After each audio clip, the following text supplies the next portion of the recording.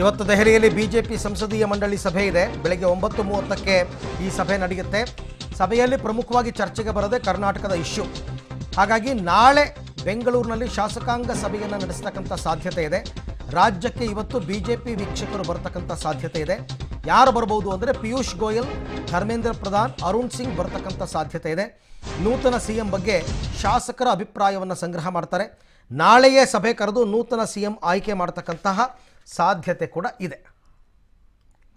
ಈ ಬಗ್ಗೆ ಮತ್ತಷ್ಟು ಮಾಹಿತಿ ನನ್ನ ಕೊಲೀಗ್ ಶ್ರೀನಿವಾಸ್ ಅವರಿಂದ ಪಡ್ಕೊಳ್ಳೋಣ. ಶ್ರೀನಿವಾಸ್, ಈಗ ಯಡಿಯೂರಪ್ಪನವರು ರಾಜೀನಾಮೆ ಕೊಟ್ಟಿದ್ದಂತೂ ಮುಗೀತು. ಮುಂದಿನ ಉತ್ತರಾಧಿಕಾರಿ ಯಾರು ಅಂತ ಹಲವಾ, ಹಲವಾರು ಪ್ರಶ್ನೆಗಳಿಗೆ ಹೈಕಮಾಂಡ್ ಉತ್ತರ ಕಂಡುಕೊಳ್ಬೇಕಾಗಿದೆ. ಮುಂದಿನ ಮುಖ್ಯಮಂತ್ರಿ ಯಾರು? ಯಾವ ಸಮುದಾಯದವರು? ಎಷ್ಟು ಜನರನ್ನ ಡಿ ಸಿ ಎಂ ಮಾಡಬೇಕು? ಯಾರಿಗೆ ಮಂತ್ರಿ ಸ್ಥಾನದಿಂದ ಕೋಕ್ ಕೊಡಬೇಕು? ಯಾರನ್ನ ಹೊಸ ಮುಖಗಳನ್ನು ಆಯ್ಕೆ ಮಾಡ್ಕೊಳ್ಬೇಕು? ಇವೆಲ್ಲ ಯಾವಾಗ ನಡೆಯೋದು, ಏನು ಚಟುವಟಿಕೆ ನಡೀತಾ ಇದೆ ಬಿಜೆಪಿ ವಲಯದಲ್ಲಿ? ಅರವಿಂದ್, ಪ್ರಮುಖವಾಗಿ ನಿನ್ನೆ ಯಡಿಯೂರಪ್ಪನವರು ರಾಜೀನಾಮೆ ಕೊಟ್ಟ ಬಳಿಕ ಹೊಸ ಸಿಎಂ ಅವರ ಆಯ್ಕೆಯ ಕಸರತ್ತನ್ನ ಬಿಜೆಪಿ ಹೈಕಮಾಂಡ್ ಮಾಡಿದೆ. ಇವತ್ತು ಪ್ರಮುಖವಾಗಿ ಸಂಸದೀಯ ಮಂಡಳಿಯ ಸಭೆ ಕೇಂದ್ರದಲ್ಲಿ ಇರುವಂತದ್ದು ಅಲ್ಲಿ ಬಹುಶಃ ಕರ್ನಾಟಕದ ಮುಖ್ಯಮಂತ್ರಿ ಯಾರು ಆಗ್ಬೇಕು ಅನ್ನುವಂತಹ ಫೈನಲ್ ಮುದ್ರೆಯನ್ನ ಒತ್ತುವಂತಹ ಸಾಧ್ಯತೆ ಇದೆ. ಅದನ್ನ ತೆಗೆದುಕೊಂಡು, ಆ ಸಂದೇಶವನ್ನ ತೆಗೆದುಕೊಂಡು ಇವತ್ತು ಸಂಜೆ ಒಳಗೆ ಆ ರಾಜ್ಯಕ್ಕೆ ವೀಕ್ಷಕರ ಆಗಮನ ಆಗುತ್ತೆ ಅನ್ನುವಂತಹ ಮಾಹಿತಿಗಳನ್ನ ಬಿಜೆಪಿ ವಲಯದಲ್ಲಿ ಕೊಡ್ತಿರುವಂತದ್ದು ಪ್ರಮುಖವಾಗಿ ಪಿಯೂಷ್ ಗೋಯಲ್ ಅಥವಾ ಧರ್ಮೇಂದ್ರ ಪ್ರಧಾನ್ ಮತ್ತೆ ಅರುಣ್ ಸಿಂಗ್ ಅವರು ವೀಕ್ಷಕರಾಗಿ ಬರ್ತಾರೆ. ವೀಕ್ಷಕರಾಗಿ ಬಂದ ನಂತರ ನಾಳೆ ಬಹುಶಃ ಶಾಸಕಾಂಗ ಪಕ್ಷದ ಸಭೆಯನ್ನ ನಡೆಯುತ್ತೆ. ವೀಕ್ಷಕರ ಸಮ್ಮುಖದಲ್ಲಿ ನಾಳೆ ಶಾಸಕರ ಅಭಿಪ್ರಾಯಗಳನ್ನ ತೆಗೆದುಕೊಂಡು ಏನು ಸಂಸದೀಯ ಮಂಡಳಿ ಯಾರನ್ನ ಆಯ್ಕೆ ಮಾಡಿದ್ದಾರೆ ಅವರ ಒಂದು ಹೆಸರನ್ನ ನಾಳೆ ಘೋಷಣೆ ಮಾಡುವಂತಹ ಸಾಧ್ಯತೆ ಇದೆ. ಹಾಗಾಗಿ ನಾಳೆಯೇ ರಾಜ್ಯಕ್ಕೆ ಹೊಸ ಸಿಎಂ ಆಯ್ಕೆ ಆಗುವಂತಹ ಸಾಧ್ಯತೆ ಎಲ್ಲ ಇರುವಂತದ್ದು ಇನ್ನು ಪ್ರಮುಖವಾಗಿ ಮೂರ್ನಾಲ್ಕು ಹೆಸರುಗಳು ಸಹಜವಾಗಿ ಸಿಎಂ ರೇಸ್ನಲ್ಲಿ ಕಂಡು ಬರ್ತಿರುವಂತದ್ದು ಅದರಲ್ಲಿ ಅರವಿಂದ್ ಬೆಲ್ಲದ್ ಪ್ರಮುಖ ಸ್ಥಾನದಲ್ಲಿದ್ದಾರೆ. ಅದಾದ ನಂತರ ಮುರುಗೇಶ್ ನಿರಾಣಿ ಅವರು ಪ್ರಹ್ಲಾದ್ ಜೋಶಿ ಅವರು ಇರುವಂತದ್ದು ಆದರೂ ಕೂಡ ಬಿಜೆಪಿಯಲ್ಲಿ ಅಚ್ಚರಿ ಅಭ್ಯರ್ಥಿಗಳನ್ನು ಆಯ್ಕೆ ಮಾಡುವಂತಹ ಪ್ರತೀತಿಗಳನ್ನ ಈಗಿರುವಂತಹ ಹೈಕಮಾಂಡ್ ನಡೆಸ್ಕೊಂಡು ಬಂದಿರುವಂತದ್ದು ಹಾಗಾಗಿ ಈ ಮೂರನ್ನು, ಮೂರು ಜನರನ್ನು ಬಿಟ್ಟು ಬೇರೆ ಯಾರನ್ನಾದರೂ ಆಯ್ಕೆ ಮಾಡಬಹುದಾ ಅನ್ನುವಂತಹ ಕುತೂಹಲ ಕೂಡ ಇರುವಂತದ್ದು ಹಾಗಾಗಿ ಇವತ್ತು ಏನು ವೀಕ್ಷಕರು ರಾಜ್ಯಕ್ಕೆ ಆಗಮಿಸ್ತಾರೆ, ಶಾಸಕರ ಅಭಿಪ್ರಾಯಗಳನ್ನ ಸಂಗ್ರಹಿಸಿ, ಕೇಂದ್ರದ ನಾಯಕರು ಸಂಸದೀಯ ಮಂಡಳಿಯಲ್ಲಿ ತೆಗೆದುಕೊಂಡಂತಹ ನಿರ್ಧಾರಗಳನ್ನ ಶಾಸಕಾಂಗ ಪಕ್ಷದ ಸಭೆಯಲ್ಲಿ ಹೇಳಿ ಬಹುಶಃ ನಾಳೆ ಅಂತಿಮವಾಗಿ ಯಾರು ಸಿಎಂ ಆಗಬೇಕು ಅನ್ನುವಂಥದ್ದನ್ನ ವೀಕ್ಷಕರ ಸಮ್ಮುಖದಲ್ಲಿ ಘೋಷಣೆ ಮಾಡುವಂತ ಸಾಧ್ಯತೆ ಇದೆ. ಅರವಿಂದ್. ಓಕೆ, ಅದು ಒಂದು ಹಂತ ಆಗುತ್ತೆ. ಅದಾದ ನಂತರನೂ ಕೂಡ ಏನು ಕೇಂದ್ರದ ಕೆಲಸ ಮುಗಿಯಲ್ವಲ್ಲ? ಇನ್ನೂ ಕೂಡ ಶಾಸಕಾಂಗ, ಅಂದರೆ ಈಗ ಕ್ಯಾಬಿನೆಟ್ ಎಕ್ಸ್ಪ್ಯಾನ್ಷನ್ ಮಾಡಬೇಕಾಗುತ್ತೆ. ಆ ಲೆಕ್ಕಾಚಾರದ ಬಗ್ಗೆ ಏನು ಮಾಹಿತಿ ಇದೆ ಶ್ರೀನಿವಾಸ್?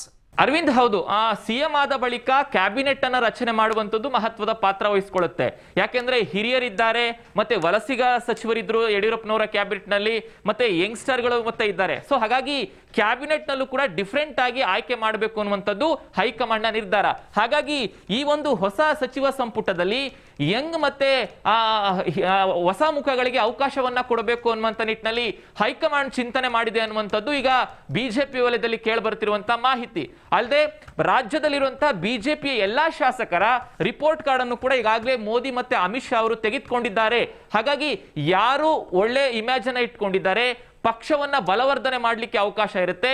ಸೊ ಅವರನ್ನ ತೆಗೆದುಕೊಳ್ಳುವಂತ ನಿಟ್ಟಿನಲ್ಲಿ ಚರ್ಚೆಗಳಾಗ್ತಿದ್ದಾವೆ ಅನ್ನುವಂಥದ್ದು ಬಹುತೇಕ ಯಡಿಯೂರಪ್ಪನವರ ಸಂಪುಟದಲ್ಲಿದ್ದಂತಹ ಐವತ್ತು ಪರ್ಸೆಂಟ್ ಸಚಿವರನ್ನ ಹೊಸ ಸಂಪುಟದಲ್ಲಿ ಕೈ ಬಿಡ್ತಾರೆ ಅಂತ ಹೇಳಲಾಗ್ತಿದೆ.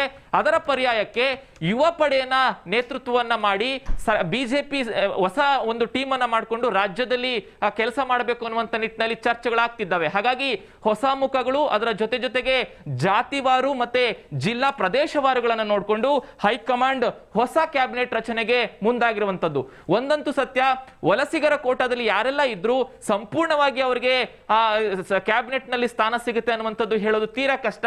ಅದೇ ರೀತಿಯಾಗಿ ಯಡಿಯೂರಪ್ಪನವರ ಸಂಪುಟದಲ್ಲಿದ್ದಂತಹ ಹಿರಿಯ ಸಚಿವರು, ಅವ್ರಿಗೂ ಕೂಡ ಕೋ ಕೊಡುವಂತಹ ಸಾಧ್ಯತೆ ಇದೆ. ಆ, ಈಗ ಇರುವಂತಹ ಮಾಹಿತಿ ಪ್ರಕಾರ ನಲವತ್ತು ಪರ್ಸೆಂಟ್ ಹಿರಿಯರು, ಅರವತ್ತು ಪರ್ಸೆಂಟ್ ಯಂಗ್ಸ್ಟರ್ಸ್ ಗಳನ್ನ ಒಟ್ಟಿಗೆ ಮಾಡಿಕೊಂಡು ಒಂದು ಕ್ಯಾಬಿನೆಟ್ ಮಾಡಬಹುದು ಅನ್ನುವಂತಹ ಚರ್ಚೆಗಳು ನಡೀತಿರುವಂತದ್ದು ಎಲ್ಲದಕ್ಕೂ ನಾಳೆ ಸಿಎಂ ಅವರ ಆಯ್ಕೆ ಆದ ಬಳಿಕ ಹೈಕಮಾಂಡ್ ಯಾರೆಲ್ಲ ಸಚಿವರಾಗಬೇಕು ಅನ್ನುವಂಥದ್ದನ್ನ ಫೈನಲ್ ಪಟ್ಟಿ ಮಾಡಿ, ಬಹುಶಃ ಈ ವಾರದ ಈ ವಾರದ ಒಳಗಡೆನೆ ಅದನ್ನು ಕೂಡ ಫೈನಲ್ ಮಾಡುವಂತ ಸಾಧ್ಯತೆ ಇದೆ. Arvind. Okay Srinivas thank you ತಮ್ಮ ಎಲ್ಲ ಮಾಹಿತಿಗಾಗಿ ಧನ್ಯವಾದ. ನೋಡೋಣ ಇನ್ನು ಮುಂದಕ್ಕೆ ಶುರು ಕೆಲಸ. ಇವತ್ತಿಂದನೇ ಶುರು. ಸಂಸದೀಯ ಮಂಡಳಿ ಸಭೆ ಕೂಡ ಇವತ್ತಿದೆ. ಇದೆಲ್ಲ ಆದ ಬಳಿಕ ಯಾವ ತೀರ್ಮಾನಕ್ಕೆ ಬರ್ತಾರೆ?